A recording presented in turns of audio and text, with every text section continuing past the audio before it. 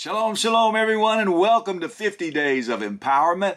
Today is day 24 as we count the days to Shavuot, and today we're going to be talking about the spiritual gift of belief.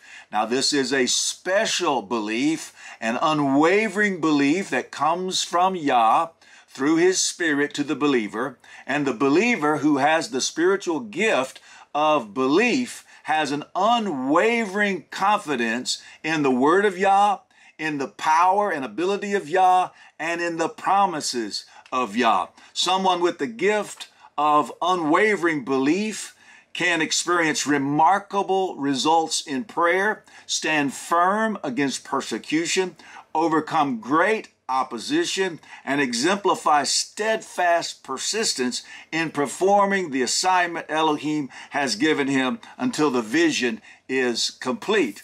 Now, Yeshua, filled with the Spirit of Yah, lived a lifestyle of this unwavering belief, and he taught his taught ones to do the same. Go with me over to Mark chapter 11, and we'll begin with verse 12. It says, And on the next day, when they had come out from Beit Anyah, he was hungry, speaking of Yeshua. And seeing at a distance a fig tree having leaves, he went to see whether he would find any fruit on it. And when he came to it, he found none but leaves, for it was not the season for figs. And Yeshua responding said to it, Let no one eat fruit from you ever again. So Yeshua cursed the fig tree. And his taught ones heard it. Verse 20.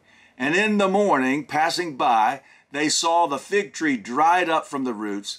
Then Kepha, remembering, said to him, Rabbi, look, the fig tree which you cursed has withered. And Yeshua answering said to them, Have belief in Elohim. In other words, have an unwavering confidence in Elohim, in His Word, in His power, and in His promises. For truly I say to you, whoever says to this mountain, be removed and be thrown into the sea, and does not doubt in his heart, there's that unwavering belief, but believes what he says shall be done, he shall have whatever he says. Because of this, I say to you, whatever you ask when you pray, believe that you receive them, and you shall have them. And then go with me over to Hebrews chapter 11 and we're going to read about some very wonderful and special believers who operated in this unwavering belief. Hebrews chapter 11, beginning with verse 33. Who through belief overcame reigns or overcame kingdoms, worked righteousness, obtained promises, stopped the mouths of lions, quenched the power of fire escaped the edge of the sword, out of weakness were made strong, became mighty in battle, put foreign armies to flight. Women received back their dead by resurrection, and others were tortured, not accepting release to obtain a better resurrection. So these are just some of the things that a believer can do when they have the gift of this unwavering belief. And 1 Corinthians chapter 14 verse 1 tells us to earnestly seek the spiritual gifts. We all ought to have a desire to live in this manner. And then go with me over to 2 Timothy chapter 4, and we're going to begin with verse 5 in just a moment. And this is Shaul speaking, and Shaul had this special spiritual gift. He lived with an unwavering belief all the way to the end of his ministry and life.